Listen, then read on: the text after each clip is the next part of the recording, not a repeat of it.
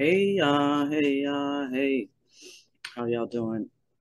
Uh, we're going to get into this one today, chapter four of the Nasarean New Testament from the Holy Megillah, um, Nazarene Bible of the Essene Way.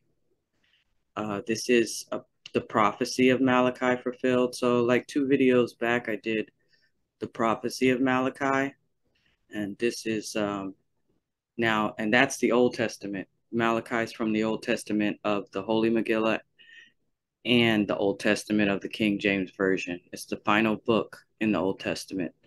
So, um, and it prophesied about the coming of the messenger, uh, Elijah. And in this Holy Megillah, it used the wording reincarnation.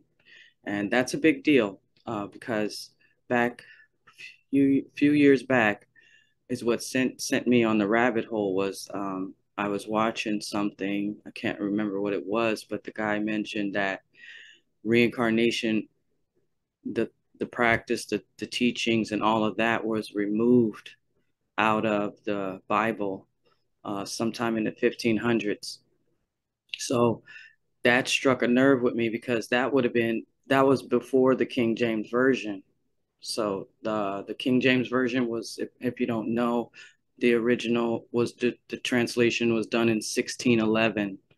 Um, they do have a 1611 Bible that reads a little different than the um, AV and the RV. So I would advise you to look that up. Look up the 1611 to get one of the, the, the one of the original translations because I remember there's a Gideon Bible and some other ones before 1611. I don't remember the exact dates, but um, this video might turn out long because I want to read this and I also want to shed some light on the reincarnation of Elijah as John the Baptist and how the Megillah words trans the Megillah wording um, might be offensive, but if you're not familiar with the stories in the original King James version, then you you may be offended by the the wording um, and not understand. But I wanted to go and show you the book of Malachi real quick in the uh, King James version and read to you how it described the coming of Elijah and how and the words it used. So here we are, Malachi, King James version chapter four is where it's at. Um, behold, no, no, no, no, no. I'm gonna go to chapter three first because that's where um, it says, Behold, I will send my messenger, and he shall prepare the way before me. And the Lord of whom ye seek shall suddenly come to his temple, even the messenger of the covenant whom ye delight in. Behold, he shall come, saith the Lord of hosts. So that's chapter three, verse one. And then I would advise you guys to go read the whole thing, especially if you're watching the Malachi prophecy videos, so you can see what the difference is. Like refresh yourself, because I I had to do this too. I this was taking me so long to get this video up, as I went back and read the book of Malachi and tried to to do this side by side. So that's what I'm just showing you now. This is chapter four, verse um, 5, where it actually says Elijah. Behold, I will send you Elijah the prophet before the coming of the great and dreadful day of the Lord. So, although the King James did not use the word reincarnation, it did not mean that if you're familiar with Elijah and the books of the Old Testament that his life and story and all of that is recorded in, you'll know about his transition and that he was no longer alive. So it was suggesting to us maybe they didn't have that word in the translation, but it's suggesting that Elijah would come back. So, I mean, you know, everybody has their own perception of things and their own um what you call it but what i wanted to show you now is I want to show you something that I'm going to put at the end of the video. So if you want to just see that part, this is called uh, hope everyone that's watching this is familiar with it. If it's not, you want to go online and look for this book, The Gospel of the Holy Twelve. It's translated from the original Aramaic. Okay. Um, I want to read this um, introduction to you uh, because it's uh, it's very important. This was a book um, of the I don't even know how to explain it, but you guys need to go and find this book online. It this one should be easy. I'll try to put a link in under the video so you can click on it. It's a download. You would you want to read it because it was a it was written in Aramaic, and um, the New Testament that we have was originally written in Greek. So it may be that the Greek New Testament was translated from this original Aramaic that we have into Greek and then into English. And so we're going to take it when you when you um when you find something like this, you realize that there's um this was this was from Aramaic to English. So we may have have have a it may it may read different because we left out the Greek in the middle, like we have the New Testament written in Greek in our Bibles.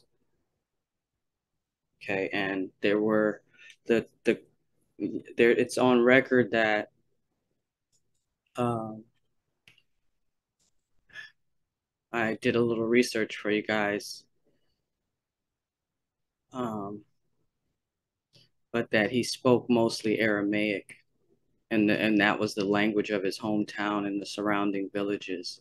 So if anybody was actually doing any scribing and saying when they were listening to him talk, I mean, like me, like you, everybody, right? You guys, you might find a lecture. Everybody grabs a pen and a paper to take notes. You know, you would those notes would have been taken in Aramaic because he was speaking in Aramaic. Maybe there might have been travelers, like you know, news reporters. They went over from, they came from Greece or whatever, and they spoke Greek, so they wrote down uh, what he was saying in their Greek and stuff. And if you know anything about languages, um, the, there's could be, um, depending on whether you're trying to translate it or transliterate it, what your what's the purpose of the text, it matters because you, you may not really care that um, the definitions of what, what's being said. You may just want it to be able to be read versus where you're trying to um, define what was being said. I don't know, but I'm started. This is already 10 minutes, so I'm just going to actually go back to the Gospel of the Holy Twelve, and I want to read to you guys where a, a little footnote about this is Christ. In this one, his name is spelled with an I, Jesus and he was talking on the regeneration of the soul in this Gospel of the Holy Twelve. So I'm going to drop this on here, and then I'm going to come back and do the Malachi on another video because uh, I don't want to make too long of videos. You know that. Um, Jesus sat in the porch of the temple, and some came to learn his doctrine. And one said unto him, Master, what teachest thou concerning life? And he said unto them, Blessed are they who suffer many experiences, for they shall be made perfect through suffering. They shall be as the angels of God in heaven, and shall die no more. Neither shall they be born any more, for death and birth have no more dominion over them. They who have suffered and overcome shall be made pillars in the temple of my God, and they shall go out no more. Verily I say unto you, except ye be born again of water and of fire, ye cannot see the kingdom of God.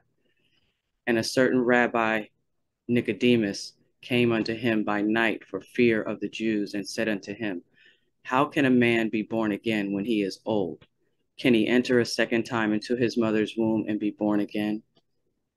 Jesus answered, it's Jesus answered, Verily I say unto you, except a man be born again of the of flesh and of spirit, he cannot enter into the kingdom of God the wind bloweth where it where it listeneth, and ye hear the sound thereof, but cannot tell whence it come or whither it goeth. The light shineth far, shineth far from the east, even unto the west. Out of the darkness the sun arises and goeth down into darkness again. So is it with man, from the ages unto the ages. When it cometh from the darkness, it is that he hath lived before. And when it goeth down again into darkness, it is as he may rest for a little, and thereafter exist, and thereafter again exist. so, through many changes must be made perfect. Oops, left out a word. So, through many changes must ye be made perfect. As it is written in the book of Job, I am a wanderer changing place after place and house after house, until I come unto the city and mansion which is eternal. And, and Nicodemus said unto him, How can these things be? And Jesus answered him, and, and, and Jesus answered and said unto him, Art thou a teacher in Israel, and understandest not these things? Verily, which is truly, we speak that which we do know, and bear witness to that which we have seen, and ye receive not our witness. If I have told you of earthly things, and ye believe not, how shall ye believe if I tell you of heavenly things? No man hath ascended into heaven, but he that descended out of heaven, even the Son, daughter of man, which is in heaven. Now, um, I would tell you guys, you see this son daughter? This is what, when I first read this, I, I had no idea that the Megillah, the book that I've been putting on my channel, even existed. And it talks about um, the Lord and the Lady Christ as being the first begotten son and daughter of the Most High, Jah and Jalah. And um, it doesn't Christ in the New Testament, what you're going to see if I put when I put some more of the New Testament sermons onto this channel, you'll see that when Christ, Yeshua is Christ in this New Testament that I'm reading from the Holy Megillah, you'll see that when he speaks, the next person that talks in his sermons is Mary of Magdalene. And there's not, there's rarely a sermon where he's only give where it's only him speaking, um, and that's what the Megillah is shedding light on in the New Testament that um, the Christ was not just a man; he had his um, it calls it eternal consort, which was the Lady Christ, which was Mary, the Magdalene, and um, that's going to be like I said, all of the videos that I'm going to be putting up from the New Testament are going to be shedding light on her and that how she was uh, the mother uh, of us all and how it's um, been kept out. So there's one more part I want to read, but I really didn't want to make this video too long. But I I I need you guys to uh, look at some more things that are going to give you um, a broader view of some of the writings that are uh, that were that were you know some of the writings from from the time of Christ and them on the earth. So all right, um, this is it. I'll put a link down there in the bottom and then I'm gonna, I wanted you guys to read this. Maybe you guys could pause the video and read this on this video. It's uh, amazing. And it is a second witness now, which would have been my first witness to about the animals and what's happening with the animals that we're that that that we need to need to focus on um, because it's not just the Megillah. This is what I'm trying to say. There was other writings from the time that um, they were trying to show us that these animals, they share with us the one breath of life. And uh, even Jesus said this here are not five sparrows sold for two farthings, and not one of them is forgotten before God. So, and it does mention him and Mary right here.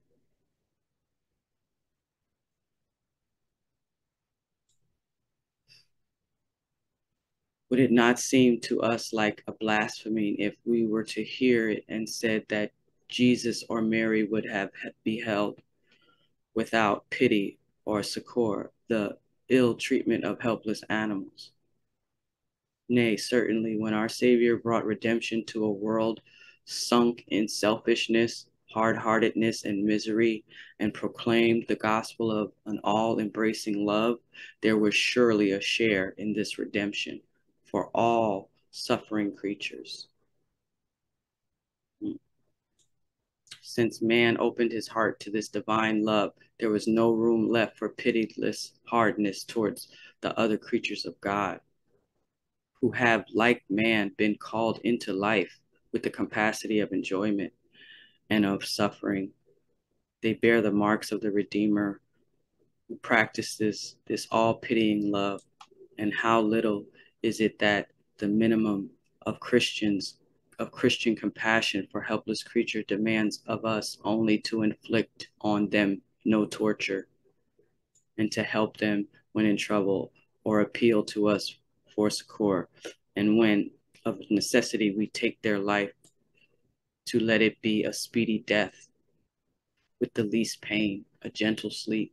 But alas how little we penetrate penetrated how little are we penetrated with these divine lessons of mercy and compassion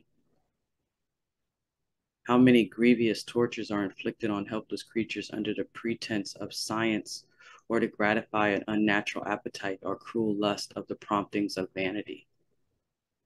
As an aid to higher Christianity, these fragments of a fuller gospel are now presented giving us the feminine tenderness and the masculine strength of the perfect Christ. Yeah, I, I, I'd advise you guys to look, start looking, start researching about the books that were left out of the King James Version. All right, thanks for watching.